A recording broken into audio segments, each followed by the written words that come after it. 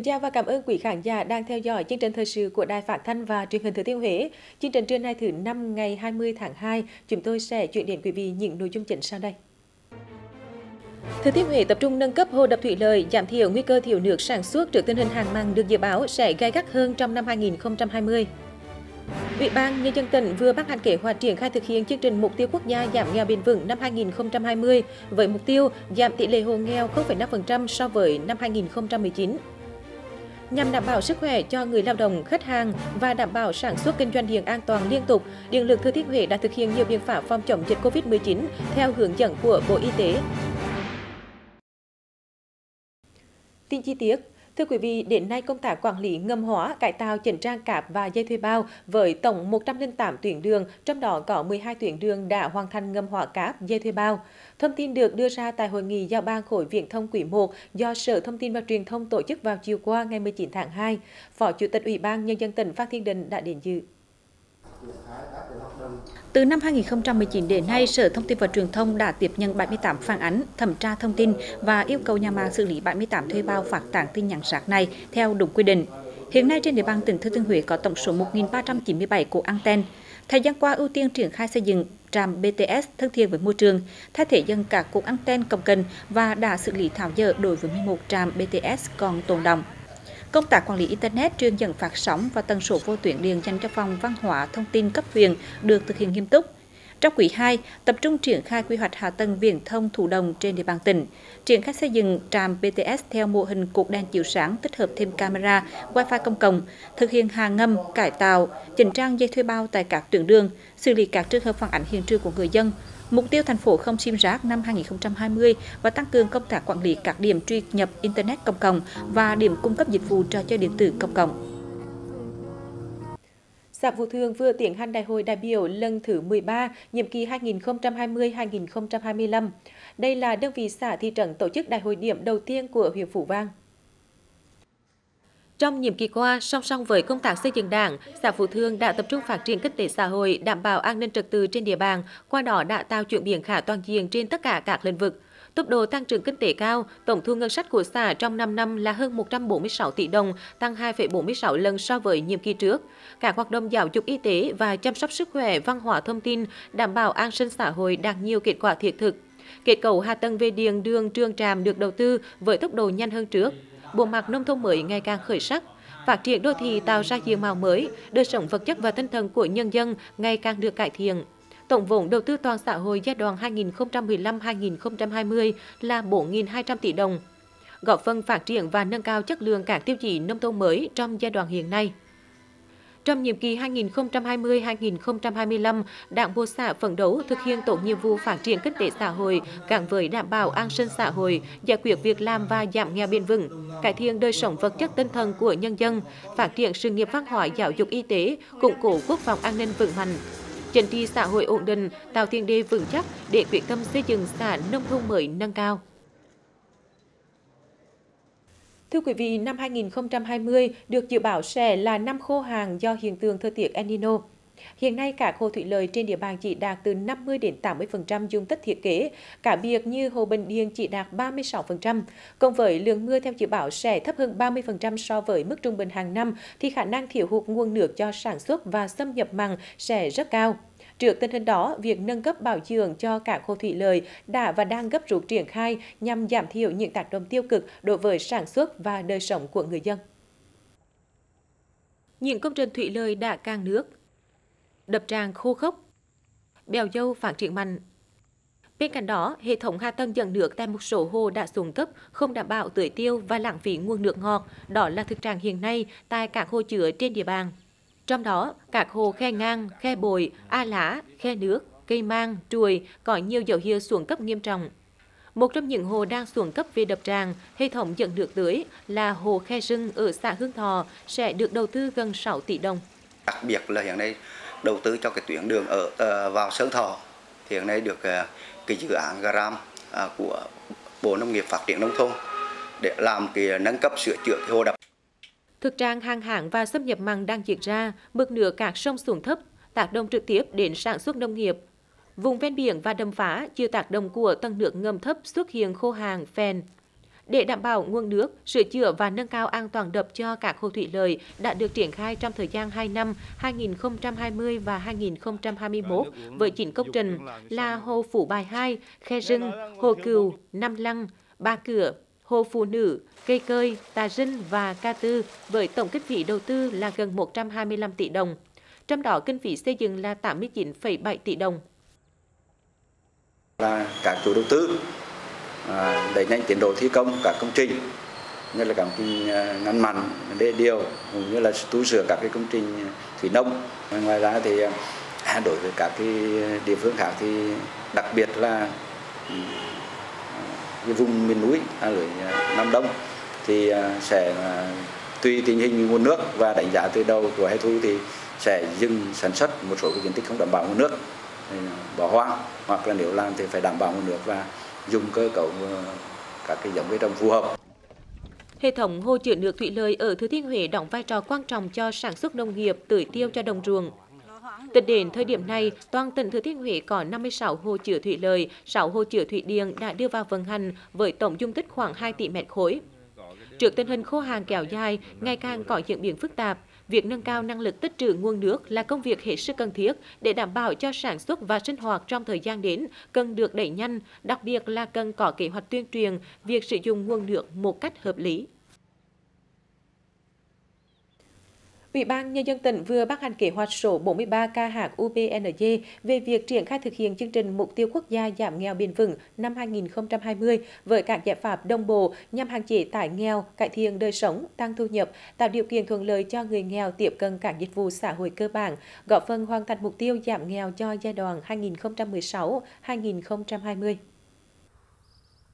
Kế hoạch phấn đấu giảm tỷ lệ hộ nghèo 0,5%, tương ứng giảm 1.480 hộ nghèo so với năm 2019. 100% các xã đã đạt chuẩn nông thôn mới và xã đăng ký đạt chuẩn nông thôn mới vào năm 2020 có tỷ lệ hộ nghèo dưới 5%. 100% hộ nghèo, hộ cận nghèo, hộ mới thoát nghèo có nhu cầu được tiếp cận nguồn vốn tín dụng ưu đãi từ ngân hàng chính sách xã hội theo quy định. Đảm bảo 100% người thuộc hộ nghèo, hộ cận nghèo, người dân tộc thiểu số sinh sống tại vùng có điều kiện kinh tế xã hội khó khăn, người đang sinh sống tại vùng có điều kiện kinh tế xã hội đặc biệt khó khăn được cấp thẻ bảo hiểm y tế theo quy định. Theo đó, kế hoạch sẽ triển khai các nội dung sau: chương trình mục tiêu quốc gia giảm nghèo bền vững năm 2020, các chính sách giảm nghèo chung, các chính sách giảm nghèo đặc thù. Ủy ban Nhân dân tỉnh cũng vừa ban hành kế hoạch thực hiện chương trình an toàn vệ sinh lao động năm 2020. Kế hoạch hướng tới những mục tiêu cụ thể sau, giảm 5% tần suất tai nạn lao động, đặc biệt là các vụ tai nạn lao động nghiêm trọng chết người, đảm bảo 100% vụ tai nạn lao động xảy ra được điều tra và xử lý theo đúng quy định của pháp luật. Tăng 5% số cơ sở tổ chức khám sức khỏe định kỳ cho người lao động, tăng 5% số người lao động được khám phát hiện bệnh nghề nghiệp, phấn đấu trên 80% số người làm công tác quản lý, chỉ đạo tổ chức thực hiện công tác an toàn vệ sinh lao động, người làm công tác an toàn vệ sinh lao động, bộ phận y tế an toàn vệ sinh viên trong doanh nghiệp, cơ sở sản xuất kinh doanh và người lao động làm các công việc có yêu cầu nghiêm ngặt về an toàn vệ sinh lao động, được huấn luyện về an toàn vệ sinh lao động. Phấn đấu có thêm 50 doanh nghiệp vừa và nhỏ áp dụng hiệu quả cải thiện điều kiện lao động và hệ thống quản lý an toàn vệ sinh lao động. Để đạt được những mục tiêu nói trên, kế hoạch sẽ tập trung triển khai một số nhiệm vụ như nâng cao năng lực quản lý nhà nước về an toàn vệ sinh lao động, công tác thông tin tuyên truyền, huấn luyện về an toàn vệ sinh lao động. Ngoài ra, kế hoạch còn triển khai các biện pháp chăm sóc sức khỏe người lao động, phòng chống một số bệnh nghề nghiệp phổ biến thường gặp trong các đơn vị doanh nghiệp, cơ sở sản xuất kinh doanh có nguy cơ cao về bệnh nghề nghiệp. Tập huấn hướng dẫn nghiệp vụ cho người làm công tác y tế tại các đơn vị doanh nghiệp, cơ sở sản xuất kinh doanh, huấn luyện lực lượng sơ cứu cấp cứu tại nơi làm việc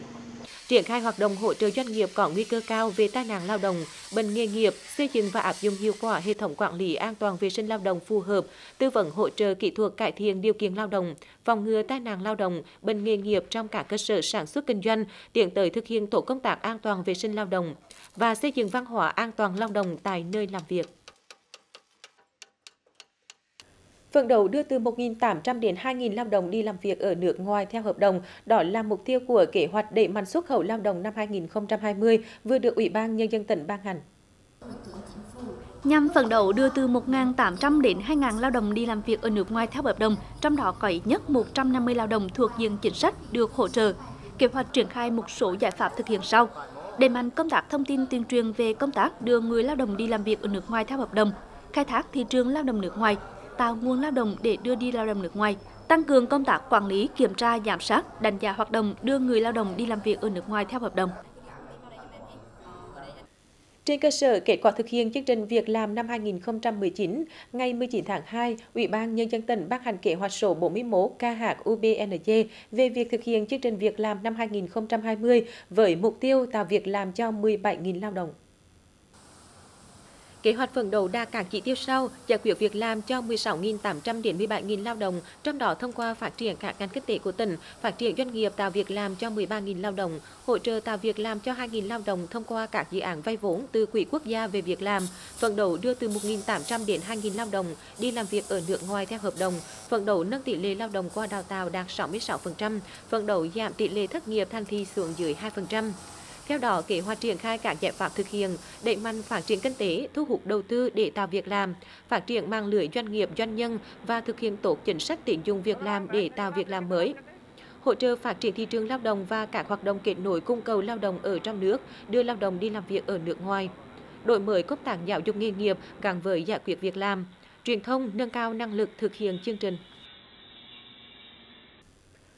Bộ Lao động Thương binh và Xã hội đang dự thảo thông tư quy định danh mục công việc nhẹ cho người đủ 13 tuổi đến chưa đủ 15 tuổi được làm. Những công việc được sử dụng người dưới 13 tuổi làm việc theo quy định tại khoảng 3 điều 145 của Bộ luật Lao động, các nghề truyền thống, chấm men gốm, cưa vỏ trai, vẽ tranh sơn mài, làm giày gió, nón lá, xe nhang, chấm nón, dệt chiếu, làm trống, dệt thổ cẩm, làm bún gạo, làm giả đổ, làm bánh đa, làm bánh đa kế, các nghề thủ công mỹ nghệ theo gen, một mỹ nghệ, làm lược sừng, đang lưỡi võ, làm tranh đồng hồ, nàng tò he. Đang lát làm các đồ gia dụng, đồ thủ công mỹ nghệ từ nguyên liệu tự nhiên như mây, tre, nứa, dừa, chuối, beo lục bình. Nuôi tầm, gói keo dừa.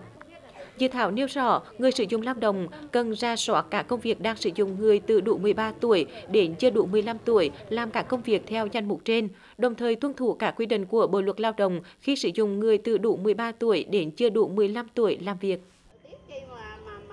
WHO cho biết nghiên cứu của Trung tâm Phòng ngừa và Kiểm soát Dịch bệnh Trung Quốc cho thấy tỷ lệ tử vong do dịch COVID-19 hiện là 2,3% và chưa đến 1% đối với những người có độ tuổi từ 30 đến 40. Tổ chức Y tế Thế giới WHO đã kêu gọi bình tĩnh cho dù số ca tử vong do dịch COVID-19 bùng phát tại thành phố Vũ Hán, tỉnh Hồ Bắc, Trung Quốc đã lên tới 2.004 người và số người nhiễm trên toàn thế giới đã vượt con số 74.000 ca tính đến ngày 18 tháng 2. Theo các quan chức WHO, tình hình vẫn nghiêm trọng ở vùng tâm dịch Vũ Hán, song giới chức Trung Quốc vừa công bố một nghiên cứu cho thấy phần lớn các ca nhiễm COVID-19 đều nhẹ và tỷ lệ tử vong thấp. WHO cho biết, nghiên cứu của Trung tâm Phòng ngừa và Kiểm soát Dịch bệnh Trung Quốc cho thấy tỷ lệ tử vong do dịch COVID-19 hiện là 2,3% và chưa đến 1% đối với những người trong độ tuổi từ 30 đến 40. Các quan chức WHO nhấn mạnh tỷ lệ tử vong hiện nay cũng thấp hơn dịch hội chứng viêm đường hô hấp cấp SARS và hội chứng hô hấp cấp vùng Trung Đông MERS cũng do virus corona gây ra. Các hãng hàng không bị ảnh hưởng trực tiếp sau khi Việt Nam áp dụng các biện pháp phòng dịch COVID-19. Vietnam Airlines, Vietjet Air, Jetstar Pacific đều đang có mức giá vé thấp kỷ lục trong nhiều năm gần đây. Theo ghi nhận, giá vé máy bay hạng mức phổ thông của hãng Vietjet Air chuyển Hà Nội đi thành phố Hồ Chí Minh ngày 19 tháng 2 chỉ còn 299.000 đồng. Trong khi đó, giá vé của Bamboo Airways ở hạng mức phổ thông là 399.000 đồng. Vietnam Airlines là 599.000 đồng và Jetstar Pacific là 590.000 đồng. Theo báo cáo sơ bộ của các hãng hàng không, thiệt hại ban đầu của việc dừng các đường bay đến Trung Quốc là hơn 10.000 tỷ đồng. Tổng công ty Đường sắt Việt Nam cho biết, sau gần một tháng công bố dịch COVID-19, vận tải đường sắt đã sụt giảm hơn 60 tỷ đồng doanh thu. Cụ thể, chỉ trong 19 ngày, hành khách trả lại vé đã mua tăng đột biến 39.263 vé, tương đương 160,5% so với cùng kỳ. Doanh thu vận tải hành khách dự kiến giảm 54,8 tỷ đồng, tương ứng giảm 13,3% so với cùng kỳ. Doanh thu vận tải hàng hóa dự kiến giảm thêm 9,9 tỷ đồng nhằm đảm bảo sức khỏe cho người lao động, khách hàng và đảm bảo sản xuất kinh doanh điện an toàn liên tục, Điện lực Thừa Thiên Huế đã thực hiện nhiều biện pháp phòng chống dịch COVID-19 theo hướng dẫn của Bộ Y tế. Sau đây là những ghi nhận của phóng viên thời sự. Theo đó, trong những ngày qua, Điện lực Thừa Thiên Huế liên tục tuyên truyền các nội dung phòng chống dịch bệnh theo các khuyến cáo của Chính phủ, Bộ Y tế. xây dựng kịch bản ứng phó với tình huống khi xảy ra dịch bệnh Covid-19. Tại văn phòng công ty, cán bộ y tế của ngành luôn có mặt từ sớm để đo thân nhiệt cho cán bộ đến làm việc tại đơn vị, cũng như đi thực tế tại hiện trường. Ngoài đo thân nhiệt, công ty đã chuẩn bị đầy đủ nước xả khuẩn khô tại các điểm phù hợp trong cơ quan để cán bộ và người lao động thực hiện nghiêm túc. Còn đây là phòng giao dịch khách hàng của Điện lực Nam Sông Hương. Khi khách hàng đến giao dịch, được đơn vị phát khẩu trang miễn phí và chuẩn bị đầy đủ nước sát khuẩn cho khách hàng để phòng dịch bệnh. Tại các điểm giao dịch khách hàng, các biển thông báo hướng dẫn thực hiện việc phòng tránh dịch bệnh được thực hiện nghiêm túc. Một số đơn vị đã tổ chức các điểm phát khẩu trang, nước rửa tay miễn phí cho khách hàng và nhận được thiện cảm hưởng ứng tích cực từ phía người dân. Điện lực Nam Sông Hương thì riêng ban giám đốc chỉ đạo rất là chặt chẽ về công việc là à, khử trùng thứ nhất là khử trùng tại đơn vị cả thứ hai là khách hàng mà tới làm việc thì luôn là khi nào đi vào là cũng phải là rửa khử trùng bằng cồn cồn nước ạ cái thứ hai là điện lực là phát khẩu trang miễn phí từng khách hàng tới làm việc không dừng lại ở đó, các phòng giao dịch khách hàng của công ty Điện lực Huế cũng đã phát đi thông báo khuyến khích khách hàng, người dân sử dụng điện tăng cường thực hiện các giao dịch về điện theo phương thức điện tử, trực tuyến nhằm phòng ngừa tối đa việc lây lan của dịch bệnh. Theo các phòng giao dịch thì nhiều khách hàng trẻ cũng đã chọn giao dịch trực tuyến để hạn chế đi đến chỗ đông người khi thực hiện các dịch vụ về điện. Bên em bữa nay là có vào đó, đó là cổng ờ, chăm sóc khách hàng 1900 1909 cái thứ hai là cổng dịch vụ công của tỉnh Thừa Thiên Huế. Và cái thứ ba nữa là bữa nay là cũng có cổng dịch vụ công của uh, của quốc gia thì khách hàng có thể đăng nhập và tạo tài khoản um, trực tuyến và có thể liên hệ với bên em và bên em có thể làm việc trực tuyến và liên lạc điện, điện, liên, liên lạc điện thoại cho khách hàng. Từ đầu tháng 2 đến nay, công ty Điện lực Thừa Thiên Huế cũng đã lập phương án đảm bảo cung cấp điện an toàn, ổn định liên tục cho các bệnh viện, các cơ sở y tế trên địa bàn. Đặc biệt các bệnh viện, các cơ sở y tế và tại hai khu vực cách ly của tỉnh là trường quân sự tỉnh và trung đoàn 176 Phủ Bài, thị xã Hương Thủy. Công ty chỉ đạo các đơn vị không thực hiện ngừng cấp điện theo kế hoạch trên các đường dây, trạm biến áp có ảnh hưởng đến việc cấp điện cho các bệnh viện, các cơ sở y tế, trừ trường hợp xử lý sự cố. Công ty Điện lực Thừa Thiên Huế là đảm bảo nguồn lưới và máy phát điện dự phòng để đảm bảo cấp điện cho các ờ, cơ sở y tế, bệnh viện,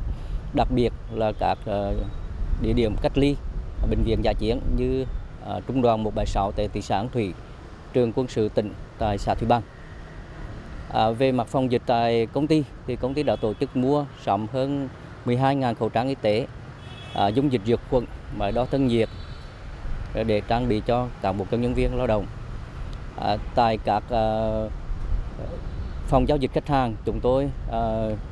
bố trí à, dung dịch diệt khuẩn, khẩu trang y tế để khách hàng sử dụng miễn phí. Để đảm bảo nguồn điện an toàn cũng như góp phần chung tay kiểm soát dịch bệnh COVID-19, Điện lực Thừa Thiên Huế đã chuẩn bị đầy đủ lực lượng, vật tư, thiết bị, phương tiện để xử lý nhanh nhất các tình huống có thể xảy ra. Các điện lực trực thuộc công ty cũng đã phối hợp với các đơn vị cơ sở y tế kiểm tra nguồn dự phòng tại chỗ nhằm khôi phục điện nhanh nhất khi có sự cố xảy ra. Được sự hỗ trợ của Quỹ chung tay vì người nghèo tỉnh, sáng ngày 19 tháng 2, huyện Nam Đông tiến hành khởi công xây dựng nhà mái ấm tình thương cho gia đình khó khăn về nhà ở tại xã Thường Long, huyện Nam Đông. Huyện Nam Đông đã tiến hành hỗ trợ khởi công xây dựng nhà cho gia đình ông Hồ Văn Lý với tổng diện tích hơn 50 m2, với tổng kinh phí hơn 100 triệu đồng. Trong đó quỹ chung tay vì người nghèo tỉnh hỗ trợ 65 triệu đồng, số còn lại là của gia đình tích góp. Ngoài ra trong quá trình xây dựng sẽ được hỗ trợ về ngày công của chính quyền địa phương và bà con lối xóm. Dự kiến nhà sẽ đưa vào khánh thành sau 3 tháng kể từ ngày khởi công. Việc quỹ chung tay vì người nghèo tỉnh hỗ trợ xây dựng nhà mái ấm tình thương sẽ góp phần giải quyết những khó khăn trước mắt, tạo điều kiện để gia đình ông Hồ Văn Lý tích cực lao động sản xuất, xây dựng đời sống gia đình ổn định, từng bước đi vào thế vững chắc.